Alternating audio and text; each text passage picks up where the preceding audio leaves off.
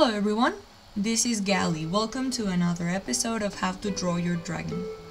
Today we're going to learn how to draw ears as requested by a person. And this time we're going to try making mammal ears on reptiles, which works even if it doesn't sound like it does. So first I thought we should start making the, the head just looking sideways or something. It could be any dragon really, like we did Haku in the last video. He could be a wolf kind of thing, or just a simple, typical dragon. I'm gonna make the opacity a little higher. Wait a second. Here. So I don't know, we have our dragon. The thing is, we want to know how to place the ears. And in many animals, it's, uh, well, it's very common that they have their ears above their eyes, right about here, for many, many animals. The only difference would be that the some predators can only move their ears in a certain way, and prey animals that are usually herbivores, they can move them in many, many directions because they need to be aware of hunters. But that's not true for everyone. Like, for example, I don't know, serval cats or. Mm, mm, let me think of another animal. Foxes, perhaps, and wolves, they can move their ears back and forward to channel the, the sound. And deer, for example, can move their ears, they're really wide and they can move them around so they can detect whether there are any, um, well, hunters around. So that's the, the, the function of the ears. So that's important to consider what kind of ears your dragon will have. Just so you know like why you're drawing them. Just so you don't draw them just because. So in this case we're going to draw fox ears, right? Try to think of the ear as a triangle shape in this case, not in every single case. Try to think of it like a cone maybe, a triangle. The details can come later, but for now try to think of it like this. So we can probably make him bend his ear a little. So you will have your, your cone kind of thing. Like this. And draw the base. And, and try to like feel in the details on your ears. So this would be him getting, I don't know, prepared, maybe angry at someone. I know the expression doesn't match that, but we're going to play around with the ears. You can pause the video right now to grab this and learn from that because I'm going to erase. Other thing could be him with the ears like this in a positive uh, kind of way. What do I mean with positive is that he's not upset, angry, or chasing anything. And ears, like expressions on people, can talk a lot about an animal or what, he's feeling. And in dragons you can make many, many expressions just by changing the ears and maybe the eyes or something, but the ears help a lot. So here we go with our shape. Now the difference, it could be here, like, like this. Or, if we were aiming for a different um, expression, we could have the ear facing this way. And I'm sorry, but my Photoshop is a little laggy right now. And I'm not happy with the, the lagginess. I'm gonna close some apps to see if it works. Mm -hmm. I think it's working better. So you can make the the ear face this way. And where should you put the other ear? That's that's one of the common questions. Well, if this ear is here, and you can imagine the, the head being a sphere, and I'm sorry about the lag, guys. This thing is it's not helping me. You can imagine this sphere, and if the ear is here, the other ear should be somewhere around here. So you can probably do, again, the cone. It will look smaller, and it will be facing that way.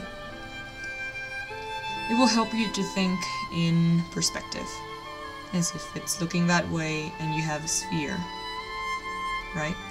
And let's say the face is looking this way.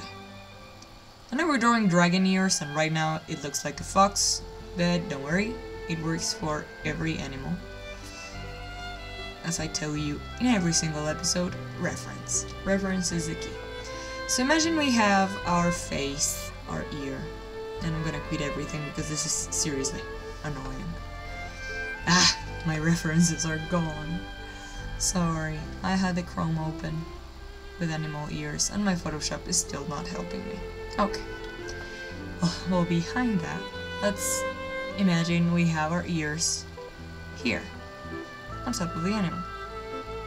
And we could draw like this if you were pointing them back because he's looking to the front. So this would be the ears looking back, not on top.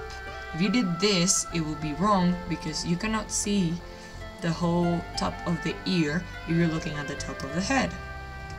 So that's something to have in mind. This would be back. This would be the back side of the ears as they would be facing that way. If you wanted to draw the ears facing forward, you probably only see the tip. Would only be something like this. Like this is a tip. It looks like eyes. he has eyes on the forehead. These are the ears looking this way, if you were looking the front of the animal. Well, this is the top of the head for an animal. Well, what about a dragon? You want a dragon to have ears. So, let's just make a, a, real dragon head now. the other one looks too much like a fox. Imagine he has his horns. And I don't know, his nose. And Photoshop hates me, so don't worry about that. There are many kinds of ears you can add to a dragon, as in anything.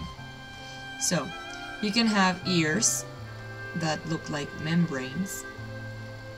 I'm gonna draw them and you can copy them, but I'm going to explain them so you don't just copy it and feel like you didn't get anything.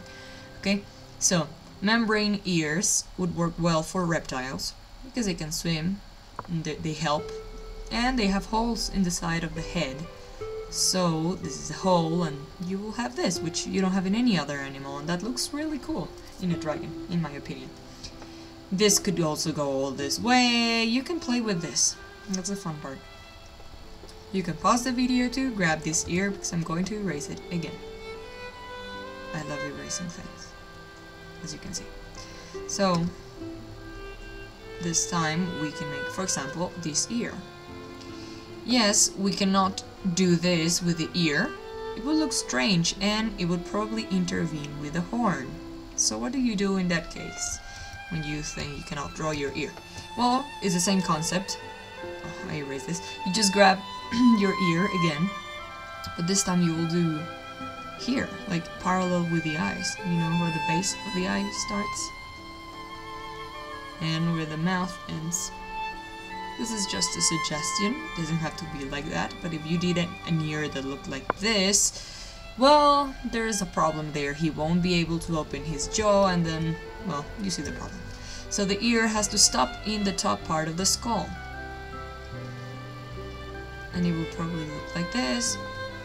And if you, you've seen many designs on the internet, you've probably been aware of many other kinds of ears. And, well, I'm going to draw some of them going to move this here. Okay, so this time we're going to raise this ear. And let's think of a different ear. This time we can do long, hair-like ear. It's it's fine. It fits. I've seen a character drawn like this and it looks awesome. Of course you, you can have well something that looks according to your design, right? Like if your character has fur, or, I don't know, feathers, or like the character I said, which belongs to Shinrai, um, well, it would fit. Because it makes sense, right? Like this kind of ear with a, a creature that probably has fur, and feathers, and, and, and it's fluffy and it looks great. It's like a bunny. Like, that could also work. And yeah, you just try to think why you're creating the ears you're creating in your characters before you make them. I know it's fantasy, but some things have, well, a certain why to them. You can experiment with as many, many ears as you want. Like, you have this, but you can have fur on them. You can make longer ears, like this. Reference is the key. Don't just copy my video, go ahead and look for some pictures of real life animals, not drawings, real life animals, and copy them. Understand why they're shaped the way they are, because I cannot draw every single ear. And if you just copy this, you won't have as many references as you probably need. So, it's all fun if you can Google that now. We have the internet now, so go on, grab some ears. So you can have many, many kinds of ears, as I already said. My character has a very thin ear because it fits in his um, in his head. That's Galidor. If you don't know him, I will show it to you. Let me see if I can. Mm, nah. Again, Photoshop hates me, guys. So, so slow. Well, you see, the where are his ears? Where are his ears? Let me see. I think you cannot see it at the moment because my computer hates me. But if you can see this, I don't think you can, but if you can see this, you can see his small ears and they're behind his horn and they are on top on the this side of the head. Okay, if you cannot see that, I'm so sorry, but yeah, my computer is making fun of me today. Okay, so aside from Photoshop hating me, I'm going to talk about the different positions of ears. So we're gonna erase this. So we're gonna draw a, a head of a dragon. A very rudimentary kind of head. Yeah. okay, so you, you get that. It looks like a chihuahua. I have three chihuahuas, so yeah, you can see the inspiration right there. This is him looking to the front so looking at the back of his head. This is him, looking at the top. And with the laggy Photoshop I cannot draw. And I'm sorry, this, this thing sucks. And well, this is him looking at the top. And this is him looking at the front. It's a very, very simple drawing, but it's really easy when you do things this simple to grasp the idea of what you want to draw much better. I recommend you do that with your characters, try to draw them as simple as you can while you can still understand their shape and you'll see how easy it becomes. So we're going to try some ear shapes. Remember you can do as long as you want, like this could be one kind of ear. This is another kind of ear. A cat ear. You can even make them floppy like dogs, but they would look really strange in a dragon. Why? Well, I don't know. They look weird. And you can do lizard kind of ears, which they are non-existent. It's just a hole, and it looks like this. And, well, what else? You can make many, many, many different ears. You can experiment, you can have fun. You can do anything you want, like you can see which animals I'm taking this from, I hope. For example, tiger, and so on, right? You, you get the idea. this time we're only gonna graph this year, maybe longer, for the example. So imagine your dragon has horns, and he has them here, and he has them here, and this here. So where will the ears be placed? I will change the color for easy understanding. This time it will be purple, because purple is awesome. So, we will have his ears facing the side of his head, and the other ear will look on the back. Remember what I said, if your ear goes here, on the other side as well, okay? I'm trying to, to explain that. Maybe it doesn't look so clear, but you will understand. If you have an ear facing this way, try to, to measure by hand, by, uh, by side. You don't need to actually measure that, but just, no one is bigger than the other, but that's fine. Like, try to get that idea. And this is looking forward. It could be like this. It could be different, right? You don't have to just copy this and, and be done, you know. Grab the idea from here, but go ahead and practice. You could be having them like this in a playful manner. And I, I bet you probably seen Toothless. If you haven't, what are you doing here? Go watch it. How to Train Your Dragon. Yeah, How to Draw Your Dragon is based on that.